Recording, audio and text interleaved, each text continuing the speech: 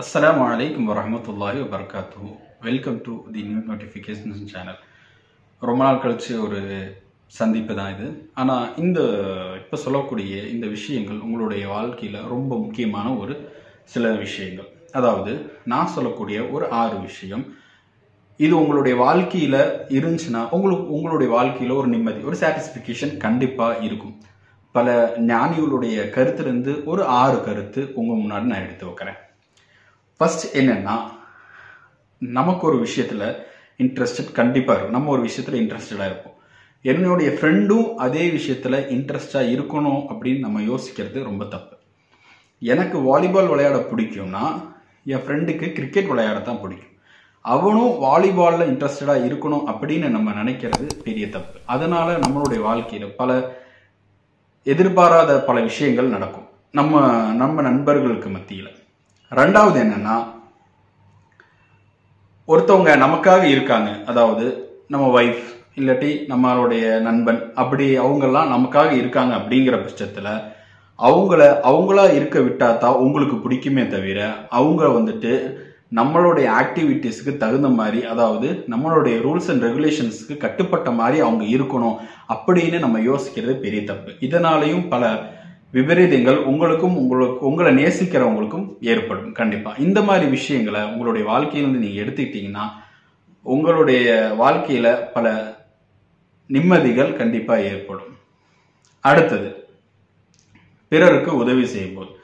இது வந்து நம்மளுடைய வாழ்க்கையில் நிறைய பேர்த்துக்கு இருக்கும். அதாவது மற்றவங்களுக்கு உதவி செய்யணும் அப்படிங்கிற எண்ணம் கண்டிப்பாக எல்லாத்துக்குமே இருக்கும். அப்படி உதவி செய்யும்போது அவங்க திருப்பி நமக்கு உதவி செய்யணும் அப்படிங்கிறத எதிர்பார்த்து நம்ம உதவி செய்யக்கூடாது. அப்படி நம்ம எதிர்பார்த்து உதவி செஞ்சோம்னா அதுல ஒரு மன நிம்மதி நமக்குமே இருக்காது அவங்களுக்கும் இருக்காது. அப்போ அப்படிப்பட்ட ஒரு எண்ணத்தை தவிர்த்து இருக்கிறது ரொம்பவே நல்லது. அதனால நமக்கு எந்த விதமான கூலியும் நமக்கு கிடைக்க போறது கிடையாது எந்த விதமான நிம்மதியும் நமக்கு கிடைக்காது. உதவி ஏன் செய்யறோம் அப்படின்னா ஒரு நிம்மதி நமக்கு வேணும். ஒரு நிம்மதி கண்டிப்பா உதவி செய்யறதுனால கிடைக்கும். அது இல்லாமல் இறைவன் இருந்தது ஏதாவது கூலி நமக்கு கிடைக்கும் அப்படிங்கிற ஒரு எதிர்பார்ப்போடு தான் நம்ம உதவி செய்யறோம். அப்படி இந்த ரெண்டு முக்கியமான விஷயம் நீங்க பிறர் நமக்கு நம்ம உதவி செஞ்சா பிறர் நமக்கு உதவி செய்வாங்க அப்படிங்கிற எண்ணத்துல செய்யறதுனால ரெண்டுமே போயிருது. இதை விட்டோம்னாலே ஒரு பெரிய மன நிம்மதி நம்மளுடைய வாழ்க்கையில ஏற்படுது. அடுத்தது ஒரு எதுக்கு வாழ்றோம்? நாலாவது விஷயம் என்னன்னா எதுக்கு வாழ்றோன்னே நமக்கு தெரியாது. ஆனா நம்ம வாழ்றோம். பிறர் வந்து கார் வாங்கினா நம்மளும் கார் வாங்குறோம். பிறர் பைக் வாங்கினா நம்மளும் பைக் வாங்குறோம். பிறர் ஃபோன் வாங்கினா அதே மாதிரி ஃபோனும் நம்ம வாங்குறோம். அப்படி மற்றவங்கள பார்த்து பார்த்து வாழ்றதை ஃபர்ஸ்ட் விடணும். இதனால என்னன்னா பல சந்தோஷத்தை உங்களுடைய வாழ்க்கையிலேருந்து கண்டிப்பா நீங்க இழப்பீங்க. உங்களுக்கு எது பிடிச்சிருக்கு உங்களுக்கு எது செட் ஆகும் உங்களுடைய பட்ஜெட்டுக்கு எது அடங்கும் அதை மட்டுமே நீங்க செஞ்சீங்கன்னா அது உங்களுடைய வாழ்க்கைக்கு ஒரு நிம்மதியை கண்டிப்பா தரும். என்னுடைய பட்ஜெட்டுக்கு ஆயிரம் ரூபா ஃபோன் தான் எனக்கு செட்டுன்னா அந்த ஆயிரம் ரூபா ஃபோனில் தான் எனக்கு எல்லா சந்தோஷமும். அதை விட்டு நான் ஒரு இருபதாயிரம் ஃபோ இருபதாயிரம் ரூபோட ஃபோனை நான் கடனாவோ இல்லை வட்டியிலேயோ எதுலேயாவது ஒரு வாங்கினா அது எனக்கு உண்மையாக கண்டிப்பாக அது எனக்கு நிம்மதியை தரவே தராது. அதனால நம்மளுடைய பட்ஜெட்டுக்கு எது உள்ளாக்குமோ நமக்கு எது செட் ஆகுமோ அதை மட்டுமே நம்ம செய்யணும். இதையும் இந்த மாதிரி ஒரு பழக்கத்தை நீங்க உங்களுடைய வாழ்க்கையில கொண்டு வந்துட்டீங்கன்னா கண்டிப்பா ஒரு ராகத்தான ஒரு நிம்மதியான ஒரு தூக்கத்தை கண்டிப்பா நீங்க டெய்லியுமே சந்திப்பீங்க. அடுத்தது. அடுத்தவங்க பேசுறதோட பேசுற பேசுறத நீங்க ஒரு குறை சொல்றது இவங்க ஒருத்தவங்க ஏதோ ஒன்று பேசுனா அந்த பேச்சில் அவங்க இது செஞ்சுருக்காங்களே இது சொல்லியிருக்காங்களே இது தப்பாச்சு இதில் அதாவது நீங்கள் தப்பை திருத்துறது வேற அவங்க அவங்களுடைய பேச்சுக்கு நீங்கள் ஒப்பீனியன் சொல்றது வேற. ஒரு கணக்கின் அடிப்படையில் ஒரு நூறு பேர்த்துக்கு ஒருத்தர் பேசுனார்னா கண்டிப்பாக அதில் எண்பது பேர்த்துக்கு அவர் ஏதோ ஒரு பாயிண்ட் வந்து பயனுள்ள பாயிண்டாக தான் கிடை- இருக்கும். பத்து பேருங்கும் போது கண்டிப்பா ஆறு பேர்த்துக்கு ஒரு முக்கியமான பாயிண்ட் தான் யார் பேசினாலும் சொல்லியிருப்பாங்கன்னு சொல்லி ஒரு கணக்கு இருக்கு.